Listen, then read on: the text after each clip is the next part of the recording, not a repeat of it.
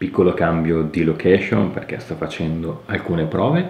Eh, la birra di oggi è una Milk Stout di Brewdog ed è la Jet Black Heart.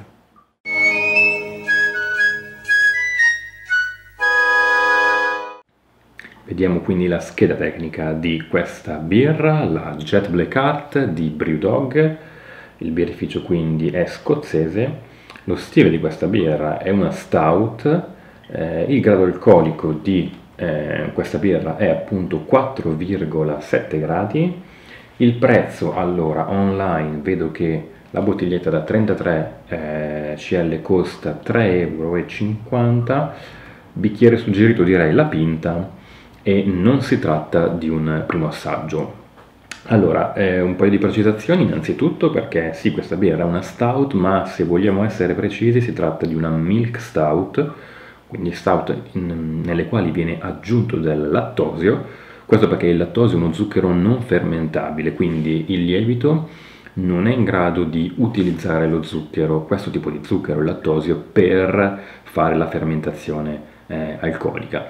Mm, I lieviti, sia cerevisi sia eh, in generale tutti i saccaromiceti, non eh, sono in grado di utilizzare alcune tipologie di zucchero, per esempio il glucosio sì, il lattosio no, il lattosio andrebbe prima eh, rotto con un enzima nei, nei due zuccheri diciamo semplici eh, che lo costituiscono eh, se manca questo enzima appunto il lattosio non può essere appunto separato dal galattosio e dal glucosio e quindi ehm, il lievito non lo può utilizzare per fermentare.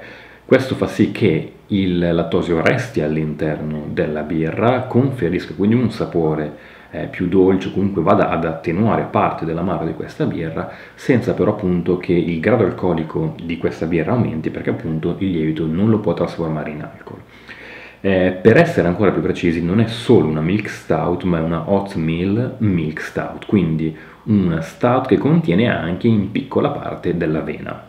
L'avena viene aggiunta non tanto per motivi eh, diciamo, per fornire carboidrati o altro materiale per eh, il lievito, viene aggiunta non maltata semplicemente per un discorso diciamo eh, sensoriale in bocca per dare maggiore eh, setosità per così dire alla birra. Fatta questa introduzione vediamo un attimino la bottiglia, come tutte o quasi tutte le bottiglie di Brewdog c'è un fondo eh, diciamo bicolore, c'è un fondo bianco dove poi vengono sovrapposte le, le lettere della parola Brewdog eh, per creare una sorta di texture a tinta, a tinta unita sul fondo, in questo caso di colore viola eh, le bottiglie sono tutte sempre con questa forma, con il loro logo in rilievo, con il logo sul tappo cambia appunto il colore di fondo. In questo caso la Jet Black Art è di colore lilla e quindi tutta la eh, bottiglia tiene questi colori.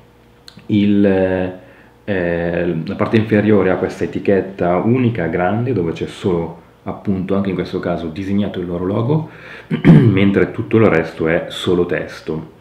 Il bicchiere che utilizzo non è una pinta, eh, ho preso questo bicchiere qui solo perché è brandizzato eh, Brewdog, in realtà non è secondo me propriamente adatto questo bicchiere perché eh, per in generale le stout si tendono ad usare bicchieri aperti tipo le pinte. Eh, Brewdog eh, fornisce questi bicchieri, in realtà per essere precisi sul retro scrive gli stili per cui andrebbe utilizzato questo bicchiere e in effetti non ci sono eh, non c'è scritto stout ma c'è scritto imperial stout in effetti le imperial stout che hanno tutta una complessità maggiore anche un corpo molto diverso eh, possono essere eh, bevute appunto in bicchieri a chiudere snifter tulipani cose di questo tipo per le stout sarebbe meglio un altro bicchiere però avevo qui questo qui che è venduto da Brewdog anche insieme a questa birra, quindi ho scelto di utilizzare questo.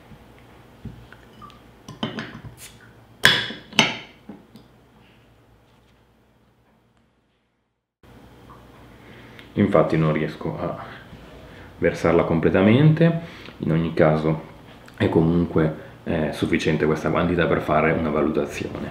Cominciamo dagli aspetti visivi.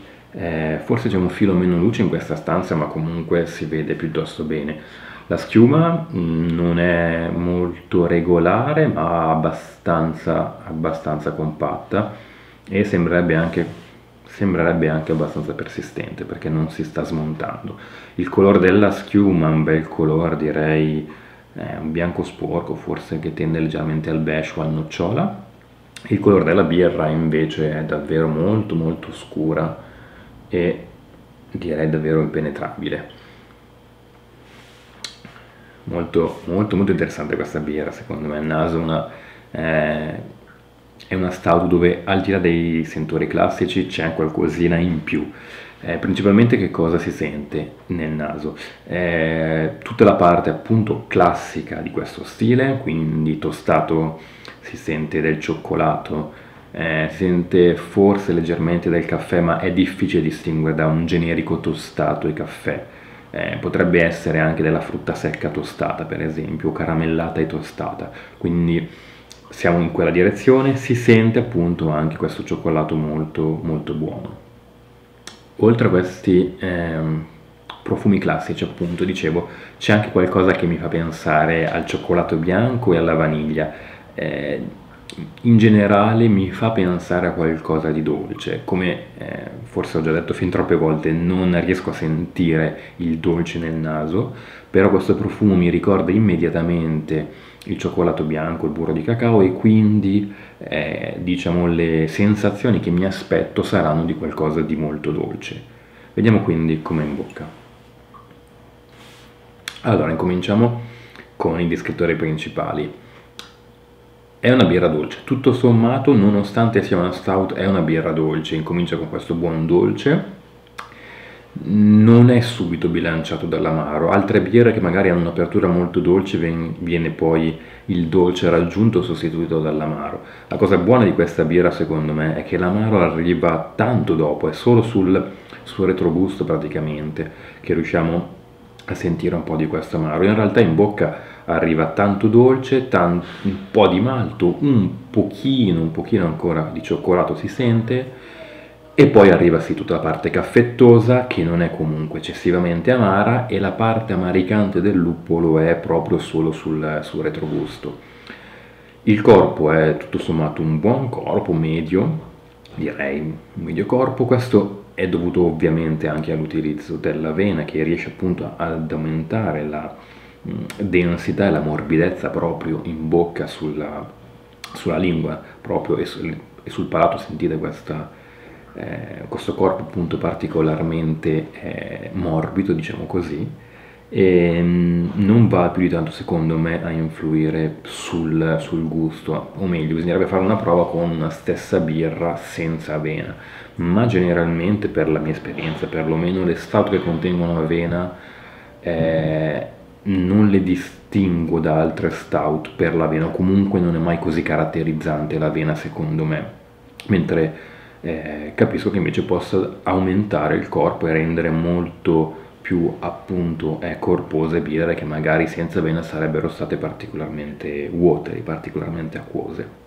Tirando un po' le fila che dire di questa eh, milk stout di, di Brewdog, sicuramente una buona stout, un po' più dolce rispetto ad altre stout di questo genere, ma ce lo aspettavamo proprio per tutto il discorso del, del lattosio. Un buon corpo, secondo me molto più interessante al naso che in bocca, perché eh, appunto in bocca resta un filo più anonima, mentre invece al naso ci sono dei, degli aromi molto molto interessanti, insomma ci si diverte di più quasi ad annusarla che poi a degustarla. Nonostante ciò resta sicuramente un ottimo prodotto, un po' differente dalle stout più classiche e più tradizionali della scuola anglosassone, scaldo.